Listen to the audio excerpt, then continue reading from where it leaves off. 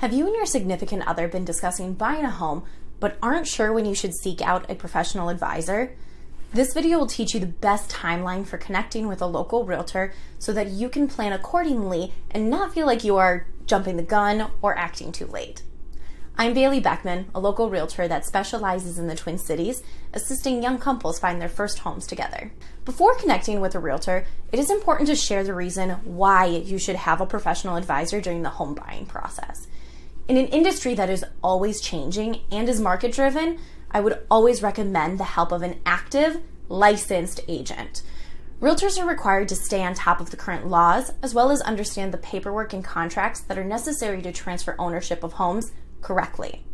Your realtor should also be skilled in negotiation so that they can get you the best deal possible. A realtor will also be able to help you see homes that are active and point out potential red flags that may come up in an inspection as well as send you off market opportunities so that you can potentially avoid multiple offer situations. There are hundreds of ways for a real estate deal to fall through, and it's much easier to tackle with a realtor by your side. Plus, buyers do not pay for representation in the state of Minnesota. The seller of a home pays the commission to both their own agent and the agent that brings a buyer in. Our duties to you as a client are found in the agency relationships and real estate transactions disclosure. We have a duty to be loyal to you as our buyer and will only act in your best interest.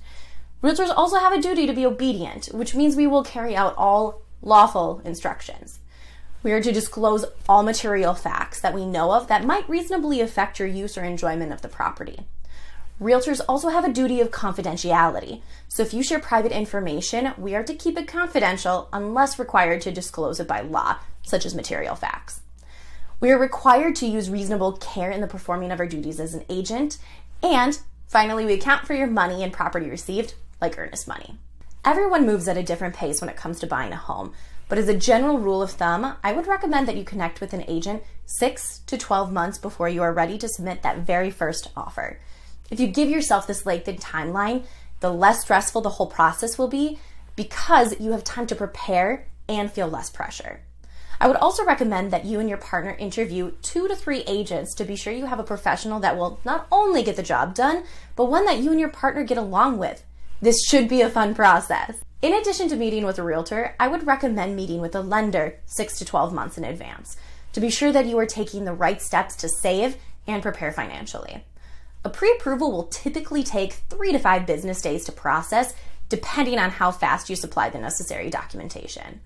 You and your partner will need to gather pay stubs, bank records, and a few other pieces depending on the lender. Your pre approval will typically last three to four months, so you will have plenty of time to search for the home without the pre approval expiring.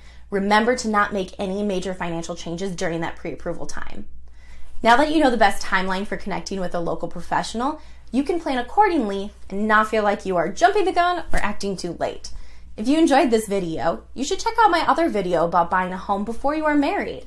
If you are ready to set up your first realtor interview, feel free to set up a consultation on my online calendar. I have the link in my description.